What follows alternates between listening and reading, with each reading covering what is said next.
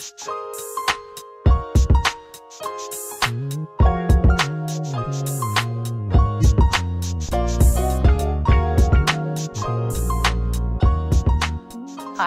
I'm Dee Dee Daniels, and I'm here to take you through a seated workout today. I've been a fitness professional for about two and a half decades, and in that time, I've discovered that it isn't just how you work out, but rather that you work out. So I'll bet that you're sitting down right now. So we're going to do a seated workout. So here's what you need. Be on the couch, or you can grab a chair without arms like I have, a folding chair or a dining room chair works. We're going to work today on cardiovascular uh, fitness. We're going to work on core strength, and we're going to work on a little bit of flexibility. So those are three really important components of fitness. We're going to do all that from a seated position. Make sure that your chair doesn't have arms on it, and if it has wheels on it, preferably you don't have that, but if you have to have that, make sure the wheels are locked. You also need water, a water bottle, a big one or a little one. It's for hydration and it's also going to serve as resistance for us. And then also you need a rolled up towel. We're going to use that for some resistance and you can also use it for some sweat absorption later. So even if you're on the couch, I want you to join me. All right? And unless otherwise directed, try not to lean back in your chair. Stay upright so that way you'll work your core. So we're going to start with a little bit of a warm up. Let's start with some breathing. I hope you're already breathing, but we're going to breathe in a very specific way. So inhale, lift up through the crown of your head. And as you exhale, stay lifted, blow all the air out, and draw the navel in toward the spine. So let's try that a couple times.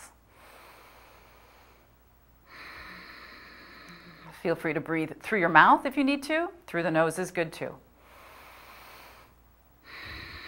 Now we'll add some movement to this. So arms a little bit forward. Inhale, lift up a little taller. And then exhale, tuck your chin, round your back, blow all the air out, and let's do it again.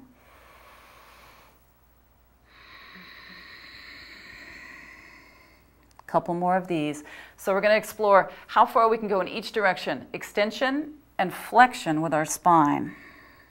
And then one more.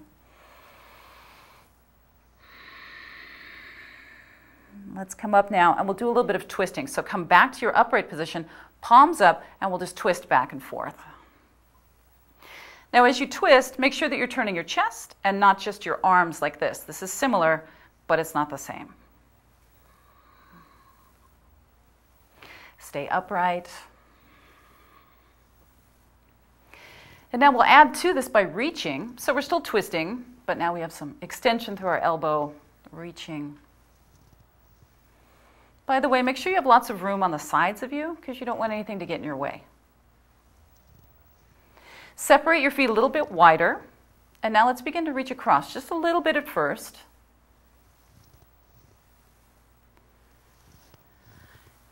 And then a little further. So you can go as fast or as slow as you want to here. Just stay in control. Come back to the front with your reaches. You can bring your feet in a little more narrow now. And then start to reach up. So now it becomes a little bit more of a side bend. One elbow down, one arm up. Make sure you're still breathing. So bend from your side. Keep your hips flat on your chair though.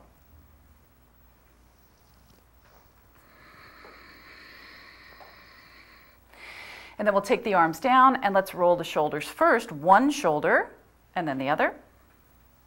Up and around, up and around. Now let's do both shoulders. So both shoulders go up and around, back and down. So feel the opening through the chest as the shoulders go back. Let's do one more. Now we'll sweep one arm up. So turn your palm in and reach up. Now here's where you really need to be careful that you're not leaning back in order to get your arm up. So stay tall. One arm. And now let's try both arms. So big inhale here, and then exhale here. And again.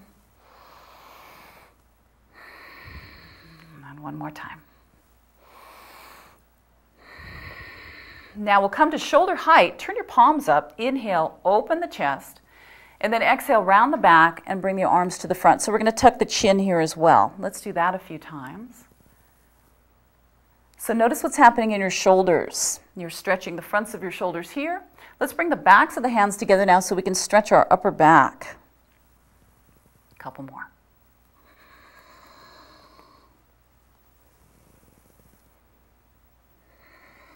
Let's do one more.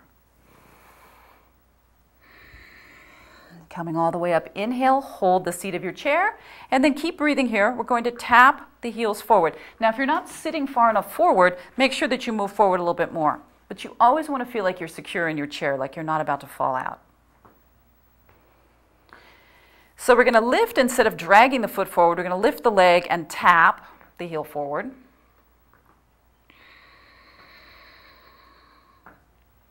Let's add an arm now, opposite arm forward. Stay tall, keep breathing.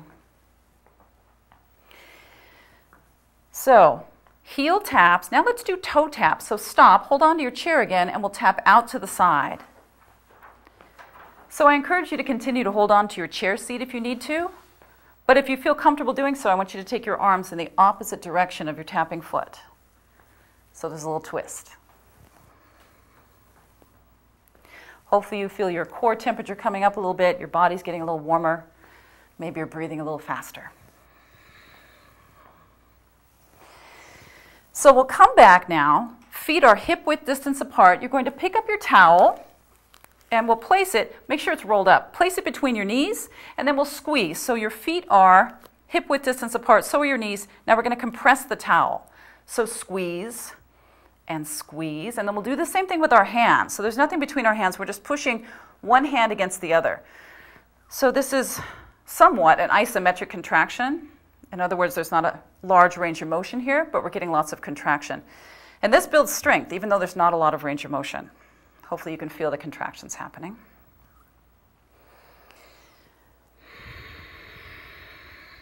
Let's do two more and then release that. Take your towel down. Now we're going to twist. So we have to take our feet a little wider, and the twist is going to come from our entire torso. So imagine that you're drawing a circle on the ceiling with your head. Make it a big circle. Keep your eyes open here, and if you have any dizziness, just stop. We can join you there in a second. Let's go the other way. So we'll be doing something like this later that's a little more challenging. One more. All right, walking the feet back in now. We're going to lean forward, reach the arms out, bring the hands to your legs, and come up. So if you didn't see what I did, stop for a moment and look, and then join me. So this is fairly easy, but make sure that you're not shortening your abdomen. So keep your abdomen long, keep the back neutral. Make sure you're not hunching your shoulders up toward your ears. Now we're going to make it tougher. Those of you who want it to be tougher, here you go. Come forward, arms out, and hold here. Now lift the arms a couple of inches up and down, up and down. So I want you to feel some tension between your shoulder blades. Squeeze between your shoulder blades. And then keep extending your spine. In other words, keep lengthening your abdomen. Now let's go a little faster if we can. Now the faster we go, the harder it is for our core to stabilize. So you want to hold as still as you can through your torso and move your arms. Faster now, smaller, faster. All right, it's a lot of work considering there's no equipment right now. And then relax that. Take your hands on your legs. Come up. Let's roll the shoulders a couple times to get rid of some tension. Let's also separate the feet a bit and twist to get rid of some tension in the back.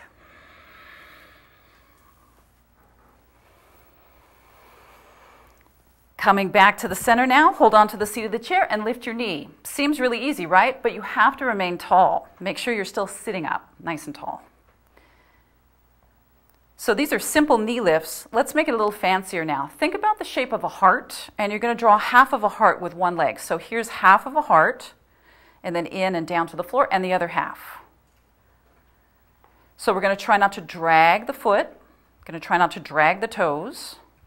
Now, if you're able to do this and you feel pretty comfortable. Then take your arms out to the sides. It becomes much more challenging now. We're going to do a couple more. Last one. And then back to the knee lifts. So back to the simple knee lift. Something different now. Take your fingers to your temples, and then we'll twist without leaning forward too much. Try to bring the elbow close to the knee.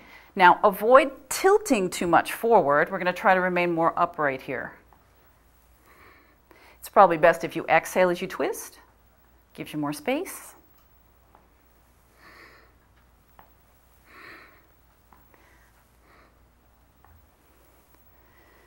All right, so you're thinking perhaps that this is a little bit too easy. So here comes something for those of you who feel like it's too easy. Keep going here if you're really comfortable with the amount of work. Otherwise, hold on to the base of your chair, lift your heels, and then if you're comfortable to go a little further, then we'll actually lift both feet off the floor. So this now becomes quite challenging for the core.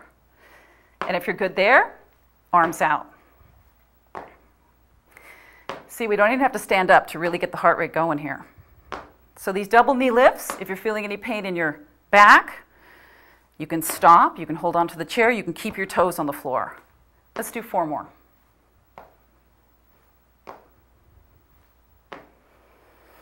All right, let's go back to the seated march. So one arm forward, lifting your knee. And then a couple of shoulder rolls. Separate your feet and a couple of twists.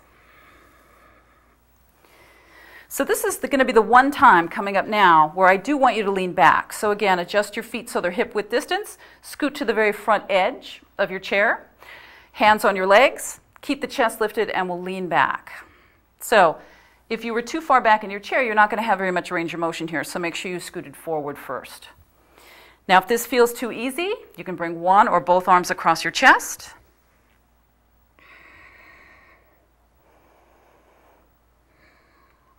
So now let's stay back for just a moment so we're just off of the back of the chair. If this is too much, lean forward further. Take the arms forward, and if you can, lift your arms up. Now your feet have to stay on the floor here. No feet coming up off the floor. Keep breathing. Can you lengthen your belly a little bit more? All right, come down. Nice. Grab a drink of water if you need to. Roll your shoulders twist away some tension. And now we'll bend sideways. So pretty much where we are now, take one hand down to the seat of your chair and lift the other arm up and over. We'll go back and forth. So this is called lateral flexion. This is side bending. Side bending, an important component of all the movements that our spine can do.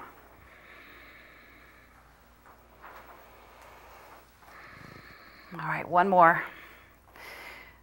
All right, let's get the heart rate going even more with some cardio. So, moving into single leg extensions. Hold on, lift one knee, extend, bend, and come down. So, the tricky part is to be able to do this without leaning back and while keeping your foot off the floor the whole time. This is strengthening for the front of our hips, strengthening for our core, and also strengthening for our legs. If you don't need your hands on the seat of the chair, then you can take your hands to your hips, extend, bend, and down. If you feel like your hamstrings are a little bit tight, you don't have to straighten your knee all the way out. Just go as far as you can. Make sure you're not leaning back. Two more. All right, feet down. Now we're going to touch the instep starting with our feet wide. Reach down, opposite hand, touches the instep. And then we'll take one arm up if you want more challenge. So there's a little bit of a twist, but again, we're not leaning forward. Going slow, or if you can, starting to speed up.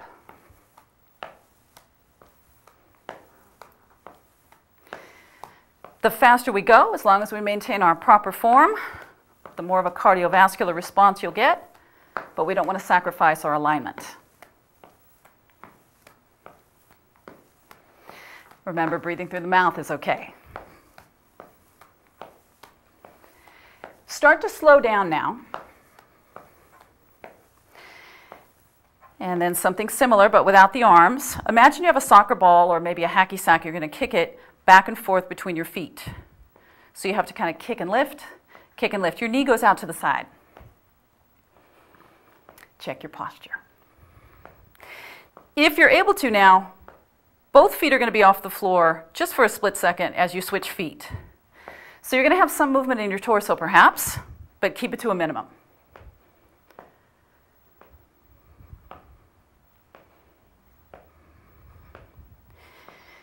Remember what I said a moment ago slow is good, fast gives you more cardio benefits. So, as long as you can maintain this and you're comfortable, let's go faster. And if you don't need to hold the chair, you don't have to. You can even twist a little bit.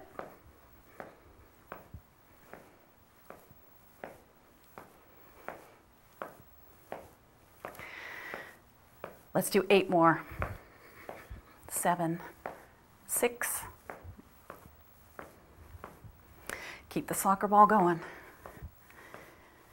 And we're down. Roll the shoulders.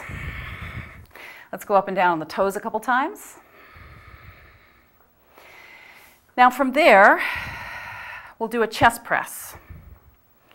So, if you think about holding a basketball maybe and passing it to someone else from the chest, that's what we're doing here. Kind of an explosive movement. The heels are going up and down. adding a little bit of speed if you need to, if you can, if you'd like.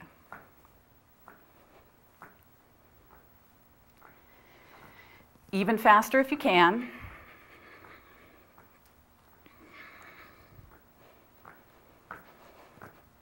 All right, and then we'll slow down. We'll keep going with this chest pass and we'll add one knee up. So one foot is flat, the other knee is coming up.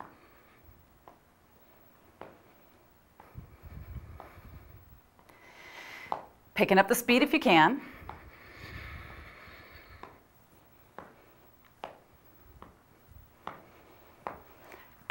I hope that your back is feeling good. I hope you're sitting tall.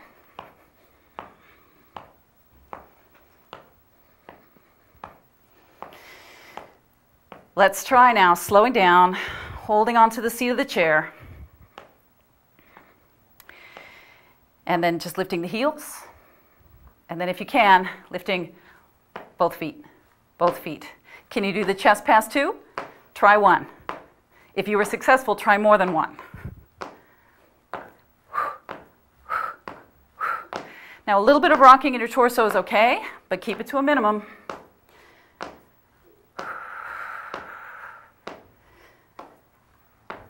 Let's do four, three, two, and come down. All right, roll your shoulders. Hopefully you feel your heart rate is up. Let's twist just a little bit to get rid of any tension. Marching in place now. So, opposite arm or same side arm if that works better for you. So now that we have the heart rate up, we want to keep it up for another moment or two.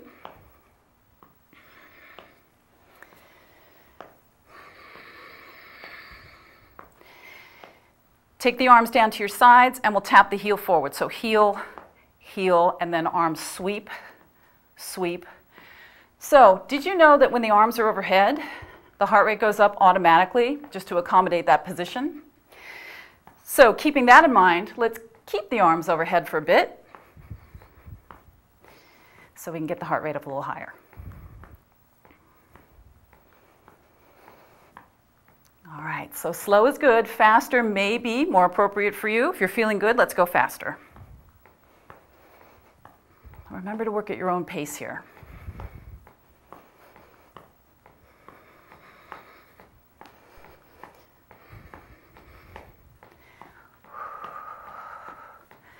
Working hard, hard as you can.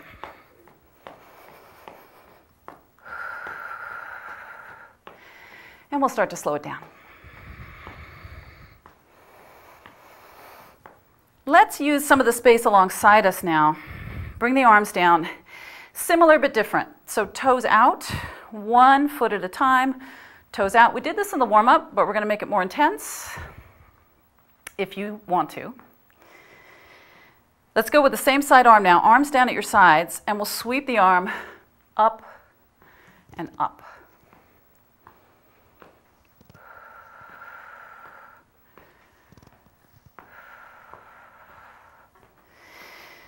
All right, so covering lots of space here. So step way out, reach way up, but don't lean too far over because you don't want to fall.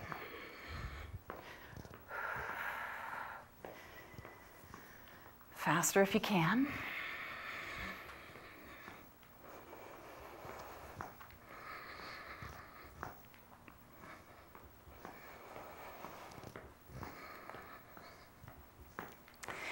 Last four now. Four, three, two. Keep the legs going, no arms. All right, so we're going to finish with something pretty intense, but we'll build it just like we have been. So feet in. Now you're going to step out, out, in, in. Doesn't matter which leg you start with because I'm going to give you the option of taking both feet out at the same time and in. So if you're stepping, eventually alternate which foot you start with so you can make them even. If you're okay with this hopping out and in, then add some arms. Out, in, out, in. So this is a seated jumping jack. And just like with a regular jumping jack, if you would like to sweep your arms up higher for more intensity, you can. And again, just like with regular ju jumping jacks, if you'd like to go faster, that gives you more of a cardiovascular response. So let's go a little faster if we can. So draw your navel in towards your spine. Keep sitting up tall. Go as fast as you can here.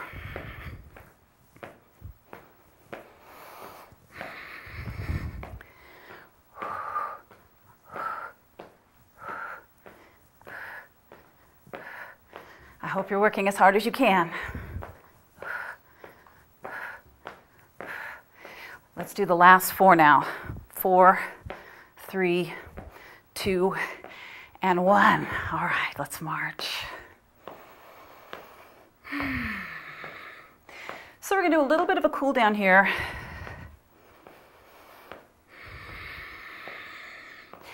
Ease your arms down a little straighter, a little lower.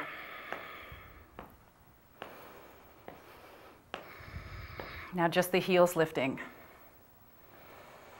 So we don't want to just stop after doing an elevated heart rate exercise. We want to kind of gradually slow down and then stop. And that's what we're doing here.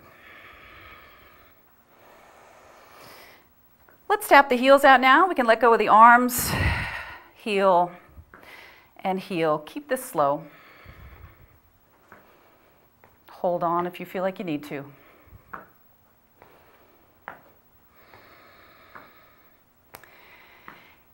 And then we're going to twist, so take your feet in, separate them, twist from side to side. So we're going to do another really important component of fitness in just a second here. We're going to do some flexibility work. It feels good. It makes you feel better. So stay with me. We just have a few more minutes. Come back in with the feet. Roll your shoulders up and around.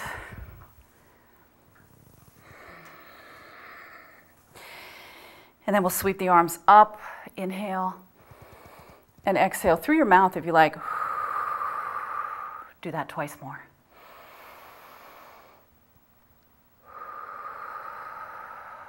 And one more time. All right, flexibility work now.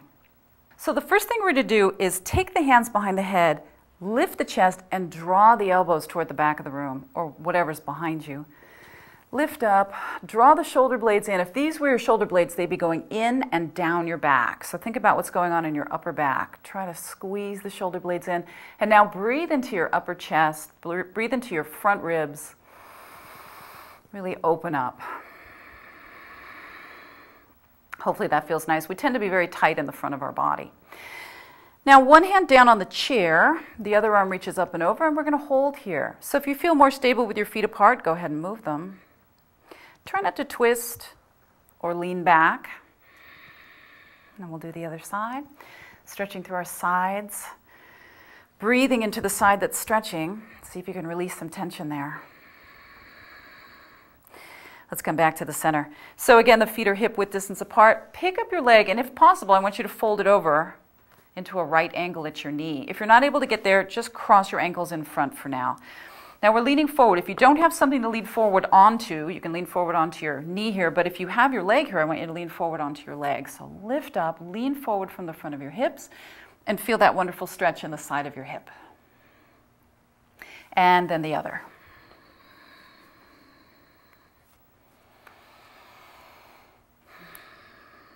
We used our hips quite a bit today. Now the next movement that we're going to do is sideways facing. So take both your feet down, turn sideways, but don't turn all the way around because I want you to be able to see me. Hold the back of your chair, and if you're on a couch, grab the back of the couch if you can. Just make sure that you're not going to leave your seated surface here. You're going to grab your ankle and try to point that side knee down at the floor. Lift up. We're stretching the front of our thigh. If you're not able to grab your ankle, you can try your pant leg instead. And then we're continuing around to a sideways facing position. Now look at me for just a second. Sit up tall, grab the back of your chair or couch, and look over your shoulder. And then come back to the center, and we'll go right around to the other side. So first the leg stretch, lift up, hold the back, hold the ankle, knee points down. And then twisting, feet flat on the floor for this, lifting up through the crown of the head, twisting around. And then back to the center. Take the palms together, tuck your chin, reach forward, separating your shoulder blades. And then last but not least, let's take the hands behind. You can grab the back of your chair or interlace your fingers if you're able to reach. Take a deep breath in. And then release. All right. So thank you for joining me today. I'm Dee Dee Daniels. Thank yourself for being here with me and taking such great care of yourself. See you next time.